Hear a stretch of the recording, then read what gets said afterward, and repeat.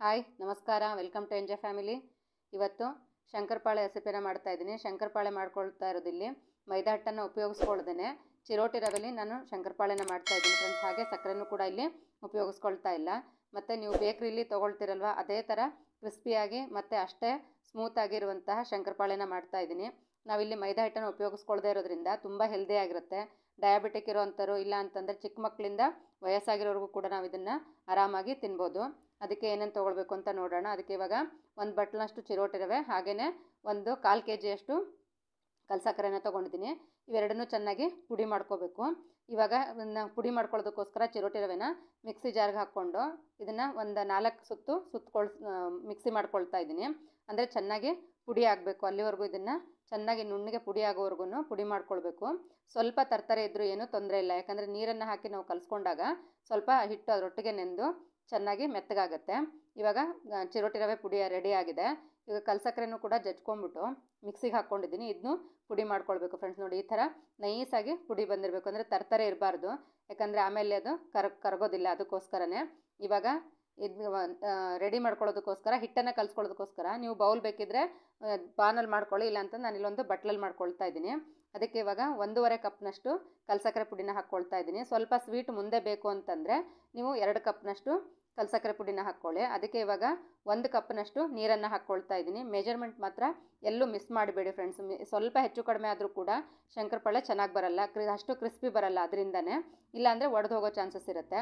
ಅದಕ್ಕೋಸ್ಕರ ಮೆಜರ್ಮೆಂಟ್ ಕರೆಕ್ಟಾಗಿದ್ದರೆ ಶಂಕರಪಾಳೆ ಯಾವುದೇ ಅಡುಗೆ ಆಗಲಿ ಕೂಡ ತುಂಬ ಚೆನ್ನಾಗಿ ಬರುತ್ತೆ. ಹಾಗೆಯೇ ಇಲ್ಲಿ ಒಂದು ಮುಕ್ಕಾಲು ಕಪ್ನಷ್ಟು ಎಣ್ಣೆ ಹಾಕ್ಕೊಳ್ತಾ ಇದ್ದೀನಿ. ನೀವು ಬೇಕಿದ್ದರೆ ಸ್ವಲ್ಪ ಅರ್ಧ ಹಾಕ್ಕೊಳ್ಳಿ. ಆಮೇಲೆ ಬೇಕಿದ್ರೆ ಇನ್ನೊಂದು ಸ್ವಲ್ಪ ಹಾಕ್ಕೊಂಡು ಈ ಥರ ಮಿಕ್ಸ್ ಮಾಡ್ಕೋಬೇಕು. ನೀರು ಕಲ್ಸಕ್ಕರೆ ಮತ್ತು ಎಣ್ಣೆ ಮಿಕ್ಸ್ ಆಗಿದೆ. ಇವಾಗ ನಾನು ಚಿರೋಟಿ ರವೆ ಪುಡಿ ಮಾಡ್ಕೊಂಡಿದ್ನಲ್ವ, ಅದನ್ನು ಹಾಕ್ಕೊಳ್ತಾ ಇದ್ದೀನಿ. ಇವಾಗ ಚಿರೋಟಿ ರವೆ ಪುಡಿಗೆ ಯಾವುದು ಯಾವುದೇ ರೀತಿ ಮೆಜರ್ಮೆಂಟ್ ಇಲ್ಲ. ಅಂದರೆ ನಾವು ಇವಾಗ ಹಿಟ್ಟಲ್ಲಿ, ನೀರೇನಿದೆಯಲ್ಲ, ಅದು ಅಂಶದಲ್ಲಿ ಎಷ್ಟು ಹಿಟ್ಟು ಹಿಡಿಯುತ್ತೋ ಅಷ್ಟನ್ನು ಹಾಕ್ಕೊಂಡು ಕಲಿಸ್ಕೊಳ್ತಾ ಇರಬೇಕು. ಇವಾಗ ನಾನು ಸುಮಾರು ನಾಲ್ಕು ಕಪ್ನಷ್ಟು ಹಾಕ್ಕೊಂಡಿದ್ದೀನಿ. ಇದಕ್ಕೆ ಒಂದು ನಾಲ್ಕೂವರೆ, ಐದು ಕಪ್ನಾದರೂ, ಕಪ್ನಷ್ಟಾದರೂ ಹಿಟ್ಟು ಅಂದರೆ ಚಿರೋಟಿ ರವೆ ಬೇಕಾಗುತ್ತೆ. ಇವಾಗ ನೋಡಿ ಇದನ್ನು ಚೆನ್ನಾಗಿ ಕಲಿಸ್ಕೊಂಡಿದ್ದೀನಿ. ಇಷ್ಟಾದಮೇಲೆ ಇದನ್ನು ಒಂದು ಹದಿನೈದು ನಿಮಿಷ ಬಿಟ್ಬಿಡ್ಬೇಕು. ಯಾಕಂದರೆ ಚಿರೋಟಿ ರವೆಲಿ ಅಕಸ್ಮಾತ್ ಹರಳ್ತಾರ ಇದ್ದರೆ ಅದು ನೆನ್ಕೊಂಡು ಅಬ್ಸರ್ವ್ ಆಗುತ್ತೆ ಅದಕ್ಕೋಸ್ಕರನೇ. ಇವಾಗ ಒಂದ್ಸರಿ ನೋಡ್ಕೊಳ್ಳೋಣ. ನೋಡಿ ಚೆನ್ನಾಗಿ ನೆನೆದ ಮೇಲೂ ಕೂಡ ಇನ್ನೊಂದು ಸ್ವಲ್ಪ ಮೆತ್ತಗೆ ಅನ್ನಿಸ್ತಾ ಇದೆ. ಅದರಿಂದ ಇವಾಗ ಇದನ್ನು ಮತ್ತೆ ಕಲ್ಮೇಲೆ ತಕ್ಕೊಂಡು ಇವಾಗ ಮುಟ್ಟು ನೋಡಿದ್ರೆ ಗೊತ್ತಾಗತ್ತೆ ನಿಮಗೆ. ಕೈಗೆ ಸ್ವಲ್ಪ ಹಿಟ್ಟು ಅಂಟ್ಕೊಳ್ತಾ ಇದೆ. ಆವಾಗ ನಮಗಿಲ್ಲಿ ಇನ್ನೊಂದು ಸ್ವಲ್ಪ ಹಿಟ್ಟು ಬೇಕು ಅಂತ ಅರ್ಥ. ಇವಾಗ ಇದನ್ನು ಹಾಕ್ಕೊಂಬಿಟ್ಟು ಹಿಟ್ಟನ್ನು ಎಷ್ಟೆಷ್ಟು ಬೇಕೋ ಅಷ್ಟೇ ಹಾಕ್ಕೋಬೇಕು. ಅಂದರೆ ಜಾಸ್ತಿ ಹಾಕ್ಕೊಂಡ್ರು ಗಟ್ಟಿ ಆಗಿಬಿಡುತ್ತೆ. ಇವಾಗ ನಾನು ಹೇಳೋ ಅದಕ್ಕೆ ಅಂತಂದರೆ ಚಪಾತಿ ಹಿಟ್ಟಿಗಿಂತ ಸ್ವಲ್ಪ ಮೆತ್ತಗಿರಬೇಕು. ಅಷ್ಟು ಕಲಿಸ್ಕೊಂಡ್ರೆ ಸಾಕು. ನೋಡಿ ಇವಾಗ ನೋಡಿದ್ರೆ ಗೊತ್ತಾಗುತ್ತೆ ನಿಮಗೆ ಮುಟ್ಟಿದ್ರೆ ಹೇಗೆ ಬೆರಳು ಒಳಗೆ ಹೋಗ್ತಾ ಇದೆ ಅಂತ ಹೇಳ್ಬಿಟ್ಟು. ಇವಾಗ ಇದರಲ್ಲಿ ನಾನೊಂದು ಮೂರು ಪೋರ್ಷನ್ ಮಾಡ್ಕೊಂಬಿಟ್ಟು ಒಂದೊಂದೇ ಪೋರ್ಷನನ್ನು ಉದ್ಕೊಳ್ತಾ ಇದ್ದೀನಿ. ಇವಾಗ ಎರಡು ಪೋರ್ಷನ್ನು ತೆಗೆದು ಮುಚ್ಚಿಟ್ಕೊಂಡ್ಬಿಡೋಣ. ನೋಡಿ ಇದು ರೆಡಿ ಆಯಿತು. ಇವಾಗ ಒಂದನ್ನು ತಗೊಂಡು ಚೆನ್ನಾಗಿ ನಾದ್ಕೋಬೇಕು. ಆಮೇಲೆ ಹಿಟ್ಟನ್ನು ಡಸ್ಟ್ ಮಾಡಿಕೊಂಡು ನಮಗೆ ಸ್ವಲ್ಪ ದಪ್ಪ ಇಟ್ಕೊಳ್ದೇ ನಾವಿಲ್ಲಿ ಇದನ್ನ ಉದ್ಕೋಬೇಕು ಫ್ರೆಂಡ್ಸ್ ಇಲ್ಲಿ ಎಣ್ಣೆ ಹಚ್, ಕೆಳಗೆ ಎಣ್ಣೆ ಹಾಕ್ಕೊಳ್ಳೋದಕ್ಕಿಂತ ನೀವು ಹಿಟ್ಟು ಹಾಕ್ಕೊಂಡು ಉದ್ಕೊಂಡ್ರೆ ಚೆನ್ನಾಗಿರುತ್ತೆ. ಯಾಕಂದರೆ ನಮಗೆ ಅದು ಕಟ್ ಮಾಡ್ಕೊಂಡಾಗ ಬಿಡಿ ಬಿಡಿ ಬರಬೇಕು. ನೋಡಿ ಇಷ್ಟು ದಪ್ಪ ಉದ್ಕೊಂಡ್ರೆ ಸಾಕು. ಇವಾಗ ನಿಮ್ಗೆ ಯಾವ ಶೇಪಲ್ಲಿ ಬೇಕೋ ಆ ಶೇಪಲ್ಲಿ ಕಟ್ ಮಾಡ್ಕೊಳ್ಳಿ. ನಾನಿಲ್ಲಿ ಚಾಕುವಿಂದ ಕಟ್ ಮಾಡ್ಕೊಳ್ತಾ ಇದ್ದೀನಿ. ಇನ್ನೊಂದು ಸ್ಪೂನ್ ಬರುತ್ತೆ ಅಂದರೆ ಈಗ ರೋಲ್ ಆಗಿರೋವಂಥದ್ದು ಬರುತ್ತೆ. ಅದು ಬೇಕಿದ್ದರೆ ಅದರಲ್ಲೂ ಕೂಡ ಕಟ್ ಮಾಡ್ಕೋಬೋದು. ಆವಾಗ ಶಂಕರಪಾಳೆ ಸೈಡಲ್ಲೆಲ್ಲ ಜಿಗ್ಜಾಗ್ ಬರುತ್ತೆ. ಇವಾಗ ನಿಮ್ಮ ನಾನು ಚಿಕ್ಕ ಚಿಕ್ಕದಾಗೆ ಮಾಡ್ಕೊಳ್ತಾ ಇದ್ದೀನಿ ಫ್ರೆಂಡ್ಸ್ ಆದಷ್ಟು ಚಿಕ್ಕದಾಗೆ ಮಾಡ್ಕೊಳ್ಳಿ. ಯಾಕಂದರೆ ಎಣ್ಣೆಗೆ ಹಾಕಿದ್ಮೇಲೆ ಅದು ಒನ್ ಟು ಡಬಲ್ ಇನ್ಕ್ರೀಸ್ ಆಗುತ್ತೆ ಅದಕ್ಕೋಸ್ಕರನೇ. ಇವಾಗ ನೋಡಿ ಹಿಟ್ಟು ಹಚ್ಕೊಂಡಿರೋದಕ್ಕೆ ಹೇಗೆ ಬಿಡಿಬಿಡಿಯಾಗಿ ಬಂದಿದೆ ಅಂತ ಹೇಳ್ಬಿಟ್ಟು. ಅಕಸ್ಮಾತ್ ಅದು ಅಂಟುಕೊಂಡಿದ್ರು ಕೂಡ ನೀವು ಹಾಗೆ ಎಣ್ಣೆಗೆ ಹಾಕಿದ್ರು ಕರಿಯೋವಾಗ ಅದು ಅದಕ್ಕಾದ ಆಟೋಮೆಟಿಕ್ಕಾಗಿ ಬಿಚ್ಕೊಂಡ್ಬಿಡುತ್ತೆ ಇವಾಗ ಎಣ್ಣೆ ಕಾಯಿಸೋದಕ್ಕೆ ಇಟ್ಟಿದ್ದೀನಿ. ಎಣ್ಣೆಗೆ ಒಂದು ತುಂಡು ಹಾಕ್ಬಿಟ್ಟು ಕಾದಿದೆ ಅಂತ ನೋಡ್ಕೊಳ್ಳೋಣ. ಎಣ್ಣೆ ತುಂಬ ಓವರಾಗಿ ಕಾಯಿಸ್ಬಾರ್ದು. ಸ್ವಲ್ಪ ಹದವಾಗಿ ಕಾದಿರಬೇಕು. ಅಷ್ಟೇ ಅಂದರೆ ಜಾಮೂನ್ ಮಾಡುವಾಗ ಹೇಗೆ ಕಾಯಿಸ್ಕೊಳ್ತೀವೋ ಹಾಗೆ. ಮತ್ತು ಹಾಕಿದ್ಮೇಲೆ ನೀವು ಕೈ ಆಡ್ಸೋದಕ್ಕೆ ಹೋಗಬೇಡಿ. ನೋಡಿ ಆಟೋಮೆಟಿಕ್ ಅದಾಗದೆಯೇ ಮೇಲೆ ಎದ್ದು ಬರ್ತಾ ಇದೆ.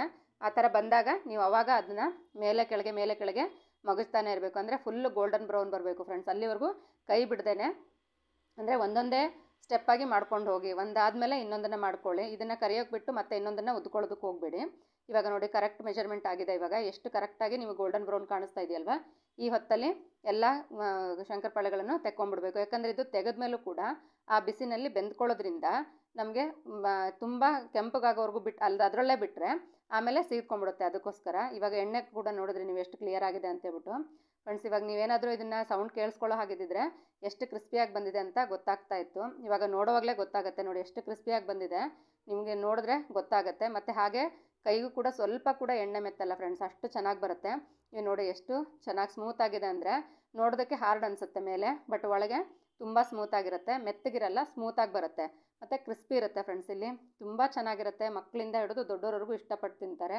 ನೀವು ಕೂಡ ಇದೇ ಮೆಜರ್ಮೆಂಟಲ್ಲಿ ಮಾಡಿ ನೋಡಿ ಇದು ಕರೆಕ್ಟ್ ಮೆಜರ್ಮೆಂಟ್ ಫ್ರೆಂಡ್ಸ್ ರೂಪಾಯಿ ಮಾಡ್ಕೊಳ್ಳೋದಕ್ಕೆ.